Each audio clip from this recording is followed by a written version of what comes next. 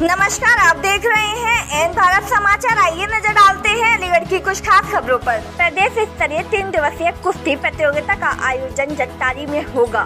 टप्पल, आज़ादी के पचहत्तरवीं वर्षगांठ के उपलक्ष्य में अमृत महोत्सव पर यूपी स्टेट कुश्ती प्रतियोगिता आयोजित होगी।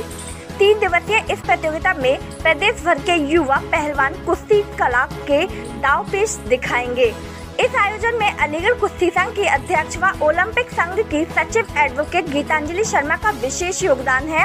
इनका कहना है कि युवा खिलाड़ी, खासकर ग्रामीण प्रतिभाओं को प्रोत्साहित करना इस प्रतियोगिता का मुख्य उद्देश्य है। उत्तर प्रदेश कुश्ती एसोसिएशन द्वारा अलीगढ़ कुश्ती एसोसिएशन को अमृत महोत्सव पिछहत्तर अंडर तेईस सीनियर यूपी स्टेट कुश्ती प्रतियोगिता कराने की ज़िम्मेदारी सौंपी गई है। अगर पार्टिसिपेशन होगा।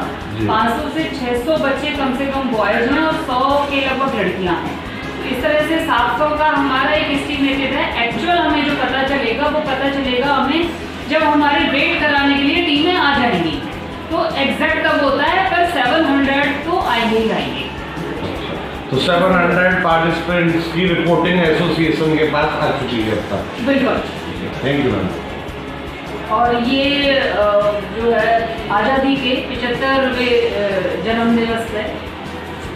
ये उपलक्ष्य में से ऑर्गेनाइज किया। ये अमृत महोत्सव नाम दिया गया है मोदी जी ने दिया है। ये प्रधानमंत्री मोदी जी के आह्वान पर ये प्रतियोगिताएँ कराई जा रही हैं पूरे देश भर में कराई जा रही हैं। और यूपी स्टेट कराने का सौभाग्य हमें हमें मिला है। और वो भी गाँव एरिया में हमने ये करा रहे हैं। ये हमारी बहुत मेहनत पूरी हमारी कुश्ती एसोसिएशन पर जो सत्या सिंह जी हैं बाबू जी, इनका और हरिशंकर गौड़, इन दोनों का और श्री जी पब्लिक स्कूल में जहाँ पर ये प्रतियोगिता हो रही है। इन तीनों लोगों का बहुत ही इसमें योगदान है और इन्हीं के अथक प्रयासों की वजह से ये गाँव एरिया में लाया जा सका है प्रोग्राम।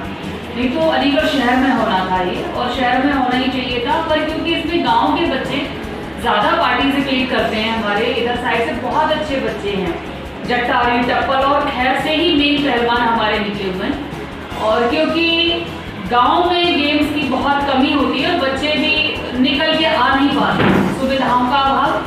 दूसरा उन्हें पता नहीं चल पाता है। तो ज़्यादा से ज़्यादा बच्चों इससे अवेयरनेस भी आएगी गाँव में होने से कि भाई कुश्ती प्रतियोगिता अब मैट पे होने लगी है।